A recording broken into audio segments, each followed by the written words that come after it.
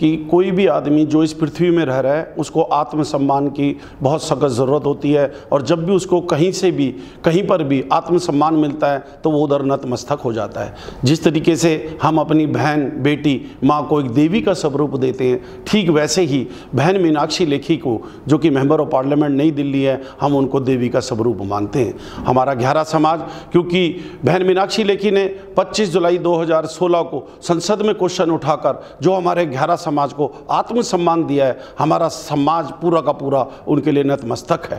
तो बहन मीनाक्षी लेखी जी, जिस तरीके से हमारे समाज के लिए दिन प्रतिदिन कार्य कर रही हैं, मैं समस्त ग्यारह समाज से, ग्यारह भाइयों से, स्त्री पुरुष से, बालक बालिका से, नर नारी से विनम्र निवेदन करता हूँ, आने वाली 21 अक्टूबर को। आने वाली 21 अक्टूबर को हरियाणा में और महाराष्ट्र में विधानसभा के इलेक्शन है। उसमें आप अधिक से अधिक वोट दीजिए। भारतीय जनता पार्टी के कोई भी प्रत्याशी है, उसको भारी बहुमतों से विजयी कराए।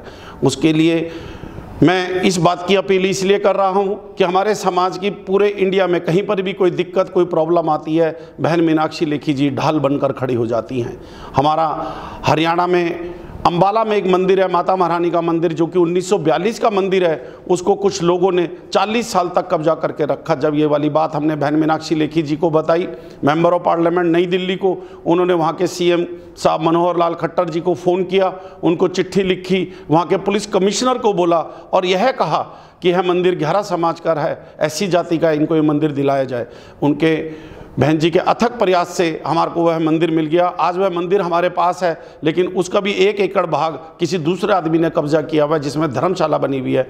मैं बहन मीनाक्षी लेखी जी से मनोहर लाल खट्टर जी, सीएम हरियाणा, अमित शाह जी, जो कि हमारे गृह मंत्री हैं, प्रधानमंत्री नरेंद्र मोदी जी से हाथ जोड़कर विनती करता हूँ, प्रार्थना करता हूँ कि जिस तरीके से आपने हमारा सहयोग किया, जिस तरीके से आप हमारे समाज की रक्षा सुरक्षा करते हैं, ठीक इसी प्रकार से ये जो हमारी अड़चन है, इसको भी दूर कराएँ।